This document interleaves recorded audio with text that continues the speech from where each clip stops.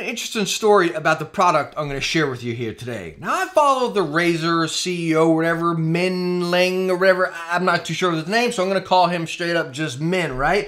Anyways, I follow him on there, and he was sharing this new Razer product. Obviously, is what he does. He's got to promote. He's got to make sales. It's hence the point of a business, right? I get it. But anyways, about this product that I'm going to share with you today, he was tweeting about, he goes, this is a product you have to experience. You know, me as a reviewer, I can relate to that. But as a CEO tweeting something out like that, I'm thinking like, what a stinking sales pitch or a Twitter ad if I've ever seen one, you know what I mean? But holy smokes, once I got my unit in and started testing it out, I 110% agree with that tweet. And that product we're gonna be talking about today is the Razer Leviathan V2 Pro. Now, I'm not gonna sit here in this room and, you know, show you some top down and bore the mess out of you with it. I wanna pull you over to my actual game room, fire it up, get some sound samples, and actually talk about it gamer to gamer and what really just blew me away with this product here. So welcome to my game room. And as you're seeing, I look like a complete Razer fanboy. I have a Razer keyboard over here, a Razer mouse, backup wireless Razer mouse, another Razer mouse, a Razer gaming chair, Razer spinner. But most importantly, what we're gonna talk about is that Razer Leviathan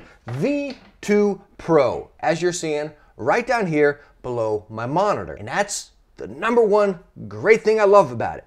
It's out of the way. It's down there. Heck, you can almost not see it. Now, if I lift my monitor up a little bit, you can see a little bit right there, some of the controls and everything, but that's the great thing about it. It's back there just doing what it does. But before we actually get to listen to it, I want to talk about actually using it, which is just Again, it's simple, it's great. The controls right on top of the unit right here. You got your EQ adjustment, your 3D sound adjustment, which we'll talk about again a little bit more, your volume control, your mute button, your source, and then your RGB control. Now you can dive further into Synapse and dabble with all of that stuff right there, which is honestly the preferred method I like. The on unit controls are a little bit, I don't know, sometimes you might forget what you're using, so I prefer to dabble into Synapse. But actually what I've been using lately, I honestly love the app control right here. I can just log, don't be trying to look at my passcode now, but I love dabbling right in here to the Razer Audio app. Bam, I got my Leviathan V2 Pro and I have everything in here. My source, I can get in here and adjust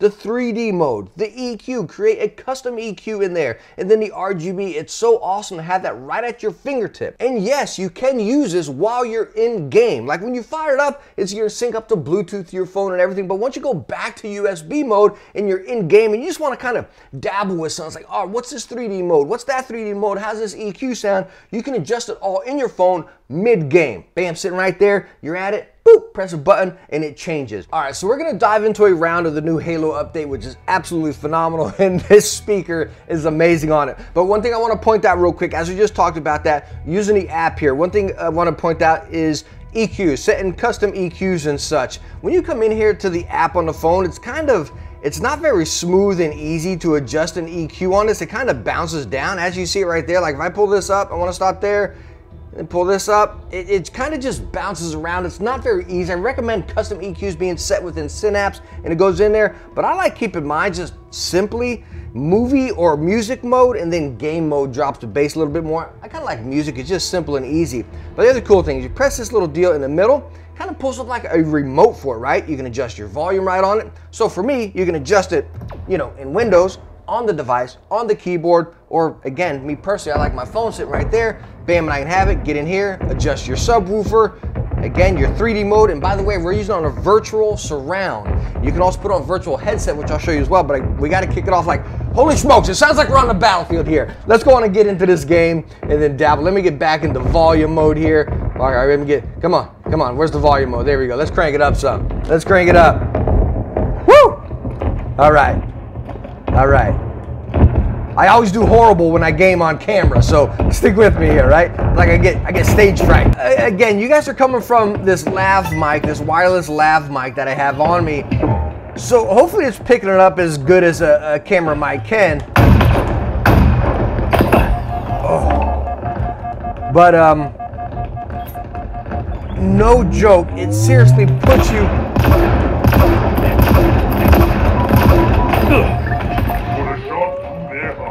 It puts you into the battlefield. It is absolutely amazing.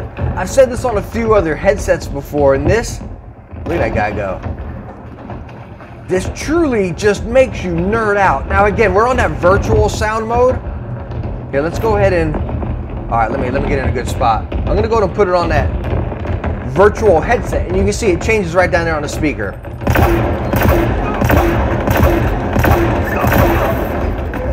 And it's definitely locked in a little bit more. Oh, this dude's coming here somewhere.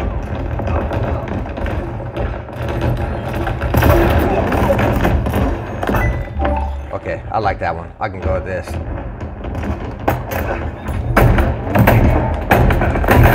Woo! That was close. That was close.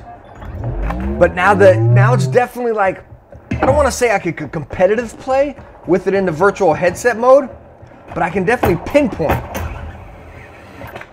And it's definitely more localized. Oh, he tried to he tried to grapple me back. But it's definitely more localized, and I can definitely get down with it. I can play. Oh, I could have had him. Look at he's low. Anyways, it's more localized, and you can truly tell that. But and, and it's definitely fuller. Now, again, we're still on virtual, so if I go straight to stereo, all right, now we're on stereo. And again, I'm keeping on the same EQ here. Now it sounds more like a regular pair of desk speakers. It definitely does, you know. Of course, you got the woofer, but kind of, I don't want to sound rude, right? A little harsh, boring. oh, you son of a gun. My dude was sitting up there in the window. You know, if you're gonna camp, at least help out when you're camping. Don't just camp to, you know, be a scaredy cat. But anyways, again, you can go into that stereo mode. It's okay. Room filling is a little gimmicky, I think. I love the THS, the uh, THX, the virtual headset or the virtual surround. The virtual surround is, oh, I stinking love it. It's so, so fun. Oh, that guy's trying to snipe up there. Where you at? Well, there he is. Okay. Where'd that dude go out sniping? Yo, why did my... I don't change this stinking thing in it. But again, this virtual, this is where it comes to life. Absolutely amazing. I just, I want to keep gaming. I've stated it before with other headsets. It, it's almost like, you know, a remastered game. And that's the vibe I get right here. Woo! Now there's another feature of this soundbar that I want to show you here. We're going to be jumping into Call of Duty Warzone. Not my favorite game. I love Call of Duty, but I'm not into Battle Royale games, right? But the cool thing that we're going to experience here, we're going to have this in the THX, the headphone, and again, you're hearing me from this little deal on me, so hopefully you can catch some of the experience through, again, our sources here. But anyways, as far as the Leviathan V3 uh, or V2 Pro, whichever V we're on, right? You can see the little lights flashing down here. And you got these sensors and it's picking up where your head is. It, you know, it's not so much like where you're looking per se, it's kind of like where you are. So if I'm like over here a little bit, it's gonna direct more of the sound coming out of those speakers. Same over here, a little bit more coming out of over there. And it is noticeable to an extent. It's not so much more or less if you're looking. Again, it's like where you are. So if you're leaning over here, you're going to hear a whole lot more sound coming over there rather than some of that room filling space that we experienced over there. So, so, so take it easy when you kind of hear about that. You're kind of thinking, oh, hey, I'm going to look like this. I'm going to see that enemy. I'm going to look over there. I'm going to see that enemy. It's not so much like that. Again, it is. If, if you're sitting over here is where you're really going to notice it. You're going to notice that sound coming at you more than if you're over here. You're going to notice it coming at you more. I think the whole looking a direction is a little gimmicky, in my honest opinion. But again, you still get that. The cool thing about it, what I'm getting at here, is that it's cool that no matter where you are, you're gonna get that room filling experience. Anyways, we're dropping in here. I wanna give you a quick sound experience of this. I'm gonna crank it up a little bit. Let's get up to 60. Let's drop in. All right, where are we going? I, I have no idea where I am. I rarely ever, I just about never play um, this mode here, just regular. So I need to get somewhere where there's a building at least. Yo, why's that water green? Hopefully someone, okay, there's somebody right there. Okay, I'm gonna go over here, and then I'm gonna sneak up on him, hopefully. What do I gotta press? I'm pressing E. Okay, I think I can get him now.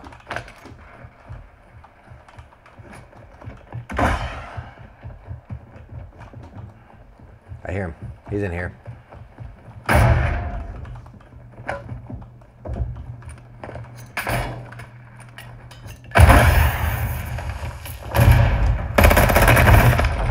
He had armor, I didn't. But the cool thing, as you just noticed right there, is even though we're on, even though we're on a sound bar, I could still pinpoint where he was. That is awesome, because usually with desktop speakers, you can't pinpoint that at all. It's just kind of like a jumble coming at you. Really cool to get that sound location. And again, we are in the THX headphone zone here. Let's go on and what do we, that's kind of creepy. Gulag, let's see if I can take this guy. I, I don't know. Crank it up. Alright, so he's looking that way. Alright, so he's going up here. I'm gonna try to go around him. If he's going up there.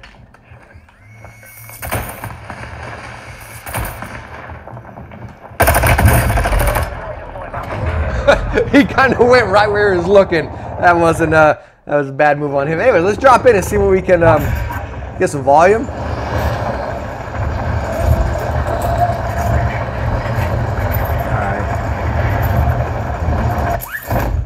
The thing I can't stand about Battle Royale games is it's just, I don't know. Sometimes it takes long to find people and I get bored.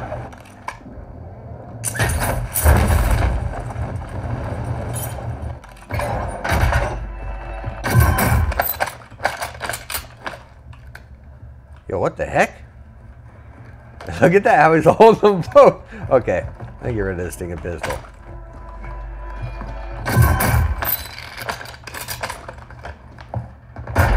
Yeah. See, now I gotta find someone. This is where I lose all interest in Battle Royale. Circle closing. Yo, can I jump down there?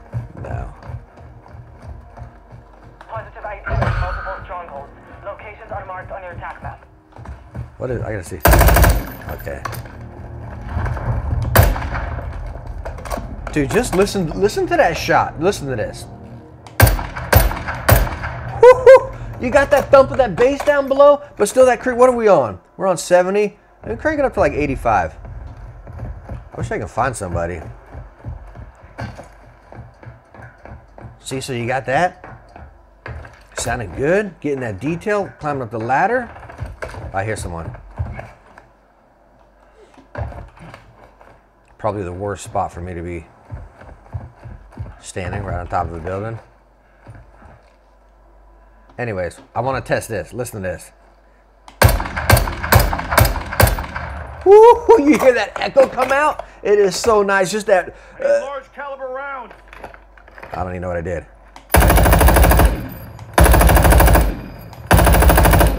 Oh, that sounds so good. Now, now what else I want to do?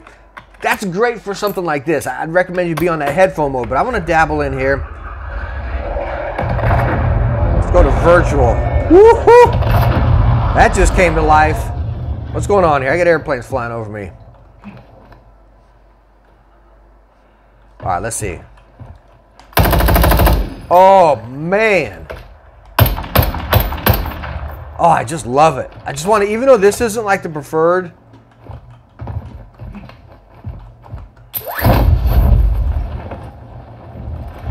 Come on. There's another guy here.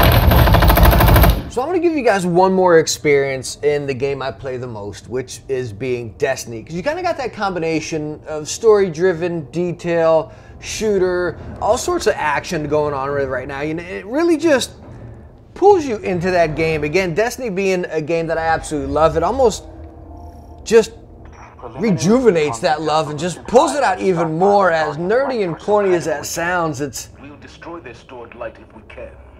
But our primary objective must be removing Hive leadership. They've been ahead of us at every step. even the dialogue. It just sounds so crisp and so good. Now, now there's something else. Two other things I want to I want to point out while we're going to go through this here, right? So, number one, we're on the sound. We're on the uh, spatial surround, right? But two other things I want to point out. with the sensors being right there and the controls being up top, as you see on the unit. So my monitor is usually right about that, right? But I usually keep it a little bit lower. Well, that's gonna block the sensors and obviously I can't get to the controls. Hence the reason, again, I like on my phone or of course my basic audio control and media controls are right up there. I really don't adjust, you know, in the middle of the game, my EQ or my sound settings on the device, on the Leviathan right there. So that doesn't really bother me. But the other thing that's weird is like, I'll sit back like this a lot and just kind of slouch like a lazy gamer, right?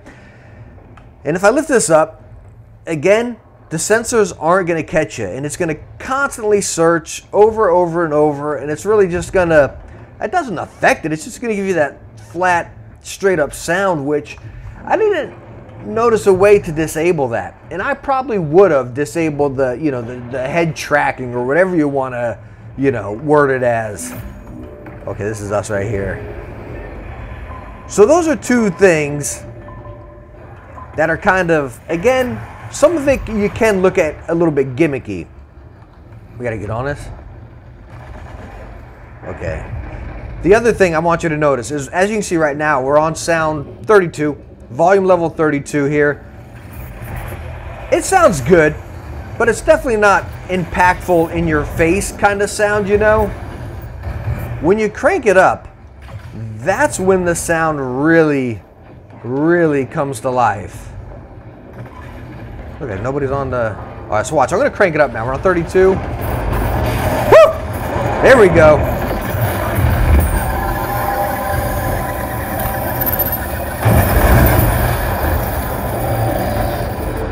That's that's what we want.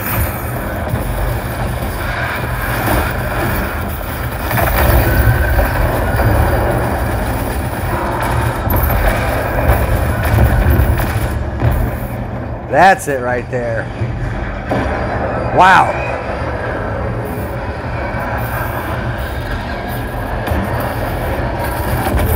That dude stepped in front of me.